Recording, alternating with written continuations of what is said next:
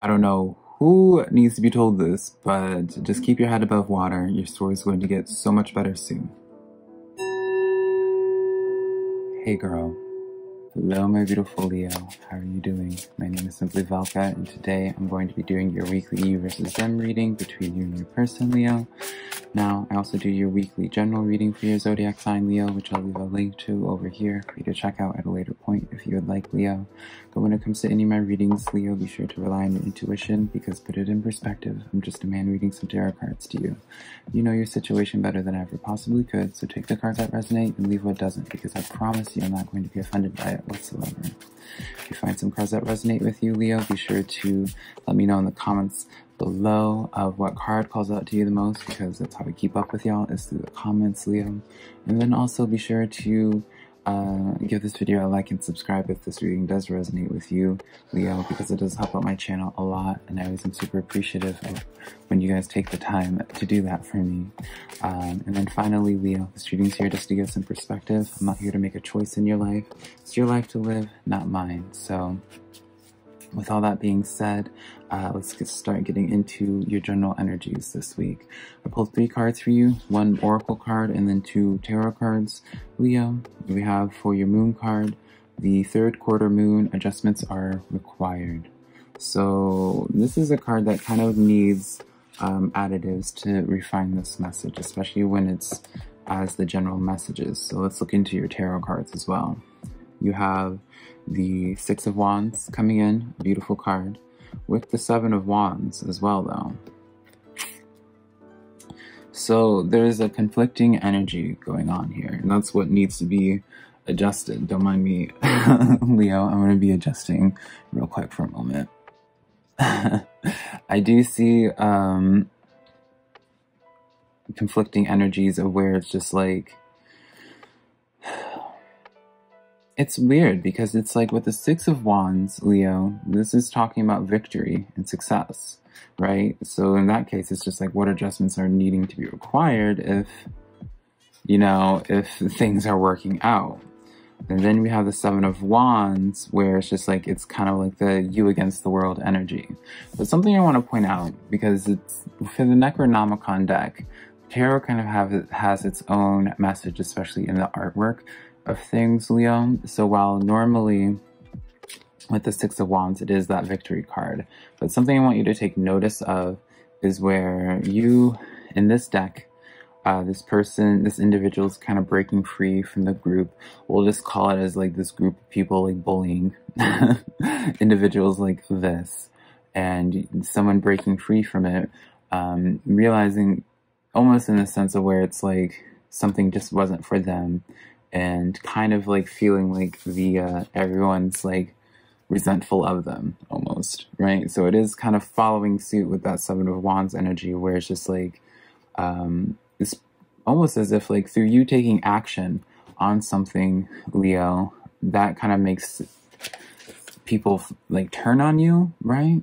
It gives me i don't know it just is like this weird like sense of people turning on you leo or just like a random shift in emotions that are happening. Uh, people that you thought were there for you just aren't and actually turned on you, perhaps. But let's start pulling. i am going to pull a card, Leo, on your side of things, on their side of things, Leo, and then a card for the energy between you two. And we'll just see what's up. Okay. Let's see, two more cards. So, we have on your side of things, Leo, the Nine of Pentacles. So with this card, this is someone that's really, um, you're not insecure with yourself, Leo, that's for sure. You're at peace with what it is on, or at least on your side of things. You're at peace with the actions that you've taken, with the words that you've spoken. Um, you're not really having that many regrets on it because um, perhaps you feel justified. Perhaps you're in this place of where it's just like, well, I know my intentions were there, so um, you can't translate it any other way, right? Um, regardless, I just see you content with yourself, so that's good. Regardless of what else is going on, I see you at peace with your actions, with your words, so celebrate you for that, Leo. On their side of things, they have the hanged man. So someone is kind of seeing things from a different perspective that they weren't consider before. We're going to use that analogy from the Six of Wands and the Seven of Wands from the Necronomicon deck, Leo, um, perhaps it's through you um, just taking the actions that you know probably isn't the most popular, but it brings you the happiness. It gives you a sense of peace from it. This person's kind of like watching from the afar and being like, oh, you know, right? Even in this imagery, you see a person like watching from afar and being like, oh, you know, maybe they're onto something. Maybe um, their intentions aren't all that bad, right? Looking, you look at this individual right here, it's just popping out in the corner, Leo. So it's interesting. Um, I like that though, just because it's like, if they're able to like, even if they didn't initially see it from your perspective, Leo, they're in this place of self-awareness enough of not just being choosing to be stuck in their own perspective, right? They're willing to like look, they're willing to self-reflect, they're willing to observe. And that's just, I mean, that in of itself is a priceless thing to have when it comes to a connection is someone that is willing to call themselves out. So Leo, the energy between y'all two is the Three of Pentacles. So with this Three of Pentacles, this, I mean, you look at the card, contracts, this is a card of someone being, putting someone else on a pedestal. Dare I say, just from the analogy I used before, Leo, they're probably putting you on a pedestal. They have a lot of respect for you, Leo, which is, again, isn't a bad thing. And that's why they are slowly seeing things from your point of view, slowly seeing things from your side of things, and seemingly agreeing with you and wanting to uh, partner up with you, wanting to pursue you, right? Wanting to just have something with you, right? So it's interesting. Let's start pulling some clarifiers now, Leo. We're going to start with pulling cards on your side of things, Leo.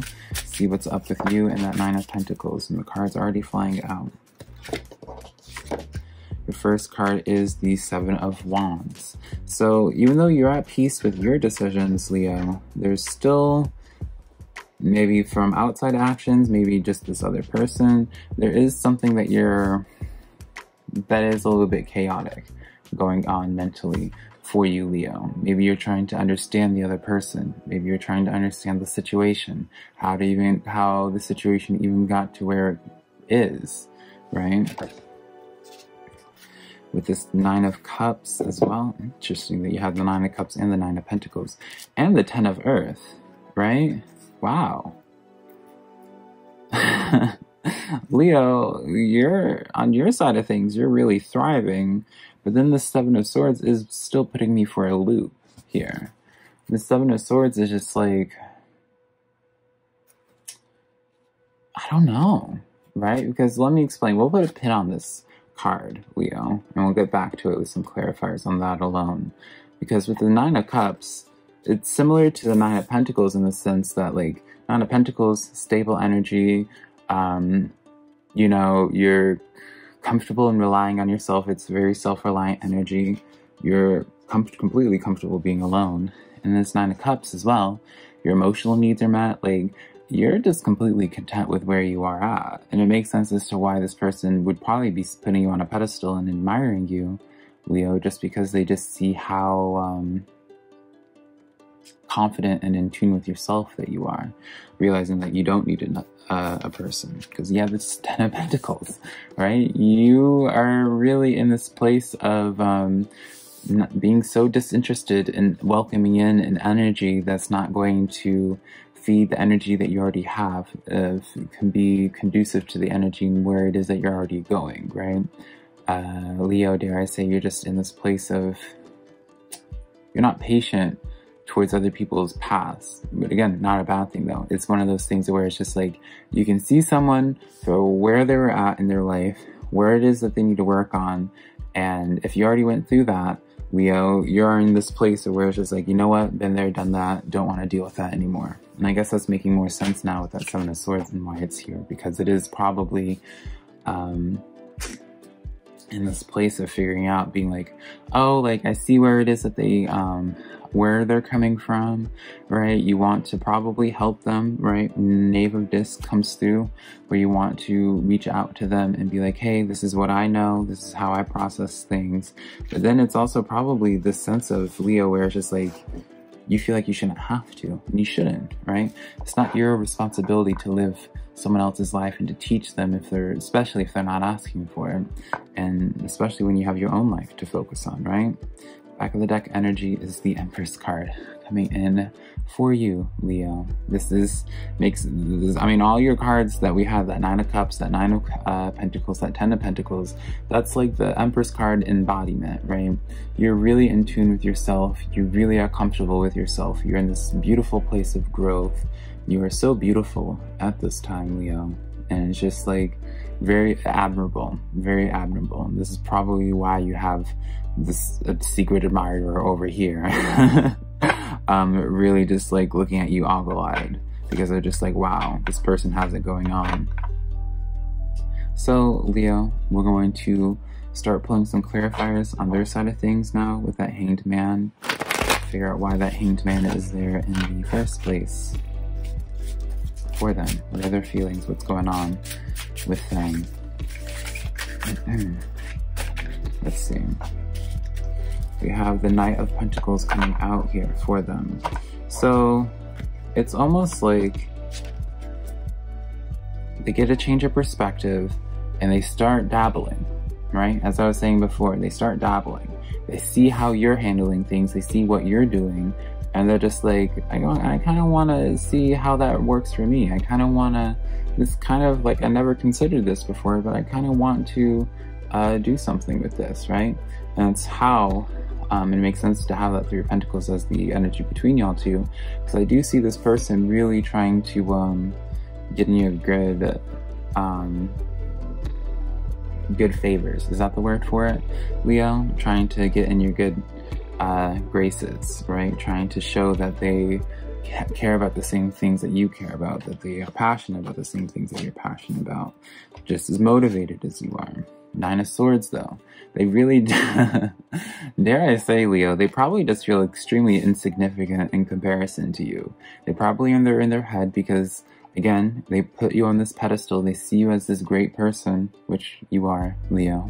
Uh, and it's just like probably a little bit of um not imposter syndrome but it's through you living your greatest life it's almost like you're holding a mirror and reflecting to them like where they're lacking or where it is that they should be improving on and what you know all those things where it's just like you are just like the literal representation of what it is that they want to be perhaps. And this eight of swords comes out and this is what's trapping them. That nine of swords comes in with this eight of swords. I they have to overcome this first, Leo, before they get into that Knight of Pentacles energy, right? Um, or I feel like this probably is what's stopping them from pursuing you or saying something to you because of just like their own.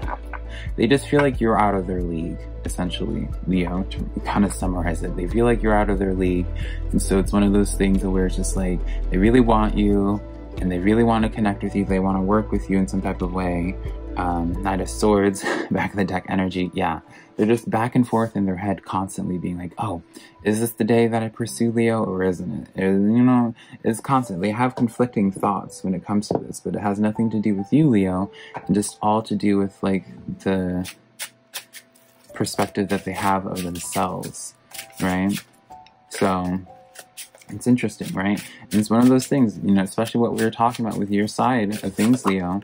I don't see you in this place of um being I don't want to say patient, but it's just like, you know, if they don't want to take action, you're not going to convince them. You shouldn't. You feel like you shouldn't have to beg them to or push them to, because it's like if you want this, then you can come towards it, right? The we're pulled clarifiers already for your three of pentacles. The cards flew out. We have four cards for you. Oh, we have the Moon card, the Tower card, the Six of Swords, and the Four of Pentacles. Hmm. So, we're going to separate these messages a little bit. Leo. We have the Tower card coming in with, I feel like these three go together, Leo. The Tower card comes in with the moon card where it's like, I feel like the moon card comes in first of where it's just like things going on in the background. And at some moment, a tower moment happens with this connection, right? Tower moment happens, and I feel like it might be caused by the Six of Swords, of where it's just like you're continuing making ground, you, and it's like each day that goes by, Leo, you become more and more indifferent towards this connection. You become, because it's just like, again, you have so much good going on in your life, you have so much going on, um, you're just trying to progress. That it's just like each day that you progress in your life, you become detached from this old situation, right? You start holding back your pentacle energy because it's just like you don't want to make the wrong investments and you're at this point you're not seeing this connection being a worthy investment whatsoever right? So it's just like how that tower card correlates though i see this as where it's just like that's what's going to potentially get them out of that nine of swords eight of swords energy Leo. I mean, it probably is not going to get them out of that energy, that Nine of Swords energy, right? They still may feel lacking in some sense of the word. But I feel like it probably will break them out of this Eight of Swords energy, realizing that they have to at some point exude that Knight of Pentacles energy, make a choice and take forward movement if they want this connection. I feel like they kind of need that ultimatum. Um, and then you have the Sun card as the back of the deck energy, interestingly enough, right? So Leo, I do see, I kind of do see this working out in the long run. It seems a little bit rough right now because it probably is.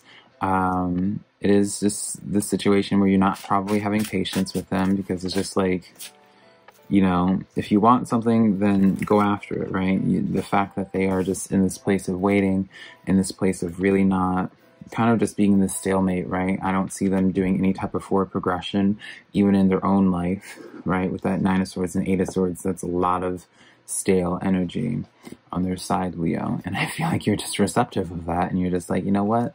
Or you're aware of it rather, not receptive. And you're just like, you know what? Like, you figure yourself out, and if you come, like, at a later point, we can reconvene, right? Justice card, bring things back into balance, right? I feel like you're trying to like being at like you're gonna do me, you're gonna do you, let them do them, and if they manage to keep up with you or catch back up with you, that's when the, you can. That's when y'all can reconvene. That's when y'all will have like that sun happy moment um, together. Because I do see this working out. They're probably just a little bit slow. They definitely have to do a lot of learning a lot of perspective shifts in their life, but dare I say they probably just weren't in a good environment, right? I'm going to reference the Seven of Wands, or not the Seven of Wands, the Six of Wands again, right? You got to consider the crew that they were around and like the echo chamber that they probably lived in, where it's just like bad, toxic behaviors just were not kept in check or even probably celebrated on some level from them. So they kind of have to break free free of those those old ways and adopt new ones. And it's a progress, right? You think about it from your side of things, like it's a progression thing. It doesn't just happen overnight. But uh, Leo, that's the cards that I have for you. If you enjoyed this reading, be sure to give this video a like and subscribe. Be sure to comment below that you enjoyed this reading. And then also share my videos with a friend, Leo, if you think you know someone that might be into my messages. Until next time, Leo, I love you so much. Bye.